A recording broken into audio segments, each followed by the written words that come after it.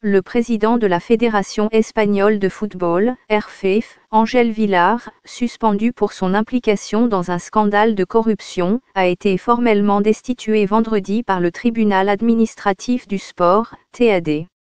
Selon les médias espagnols, le TAD a adopté cette résolution contre Villar en estimant que le dirigeant avait fait campagne pour sa réélection au printemps dernier tout en gardant les commandes du comité de direction intérimaire de la RFEF, censé être neutre dans le processus électoral.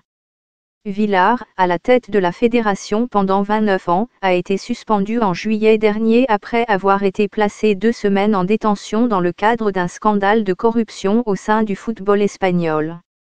Selon la justice, l'ancien vice-président de la Fédération internationale du football association et de l'UEFA est soupçonné d'avoir mis en place une structure qui permettait de détourner des fonds au profit de ses proches ou de lui-même.